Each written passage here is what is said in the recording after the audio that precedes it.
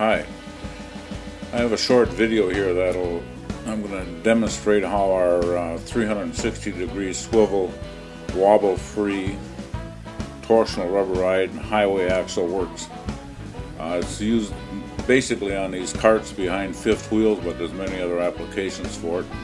You can see as we back up here that the wheel turns around, goes forward, the wheel straightens back out. Uh, this wheel in its design will not wobble for the simple reason that we have two tires, one on each side of the of the axle bar, which is connected to the pivot point.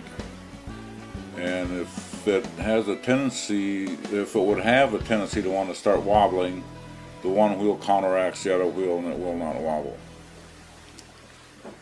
Now we're going to uh, go down the highway here. You can see how the axle turns as he goes around the corner and he goes down the highway picking up pretty good speed here.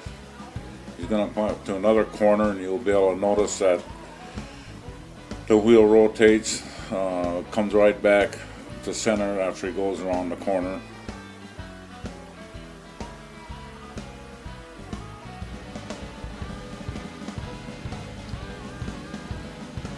Just follows right along.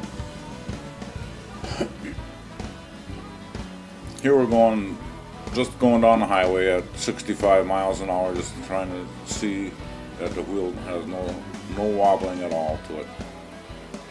Here's a little different configuration. I put two tires on the, or two axles on the back that mounted stationary, and the front one is a swivel mount.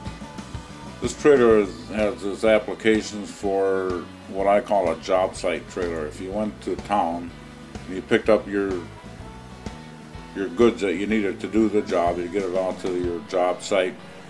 You can unhook it because there's no tongue weight, and then you can hook it back up to whatever unit you had on the job site to pull it. Like if you had a four wheeler and you were going to pull it around the job site, uh, it works very well for that. I've also used it in my uh, garage as a cart it has no problem hauling a heavy load. And here's a little demonstration of it going down a highway. You can see we pulled off at the edge of the road because there was a car coming and we pulled out. And you can see the wheels run straight and true. Thanks for watching.